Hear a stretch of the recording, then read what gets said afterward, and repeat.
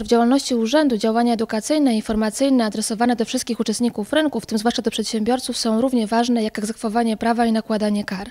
Zależy nam na tym, żeby stale podnosić świadomość przedsiębiorców odnośnie obowiązujących reguł konkurencji, tak aby ci, którzy chcą działać zgodnie z prawem, mieli taką możliwość, nawet jeżeli działają na mniejszych rynkach, na rynkach lokalnych i regionalnych, gdzie dostęp do informacji jest może mniejszy niż na rynku ogólnokrajowym.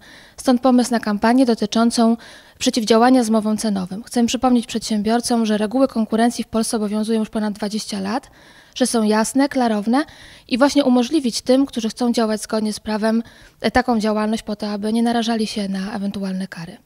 Przedsiębiorcy zamiast rywalizować ze sobą, koordynują swoją działalność w drodze e, ustaleń, na przykład zawierają umowy albo w drodze wymiany korespondencji mailowej podczas spotkań towarzyskich, biznesowych, rozmów telefonicznych, ustalają na przykład pułapy cen, ewentualnie innego rodzaju działania, które są eliminowaniem konkurencji między nimi, takie jak na przykład nie wiem, podział rynku e, czy ustalanie innych warunków transakcji, co również e, niejednokrotnie się zdarza.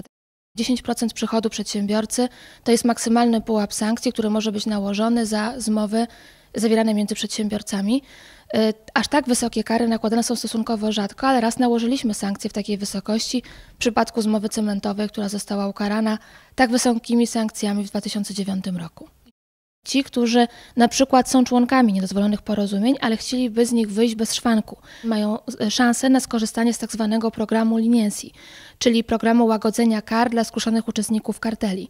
Ten program daje szansę tym przedsiębiorcom, którzy są już w porozumieniu niedozwolonym, e, współpracy z urzędem, udzielenia informacji o tym, co dzieje się, w oparciu o jakie reguły działa ten kartel. W zamian za to mogą być całkowicie zwolnieni z kary albo uzyskać jej znaczącą redukcję. Y, wszystkich tych, którzy chcieliby więcej informacji na ten temat uzyskać, zachęcam do odwiedzenia strony internetowej urzędu, na której szczegółowe informacje dotyczące warunków liniencji się znajdują.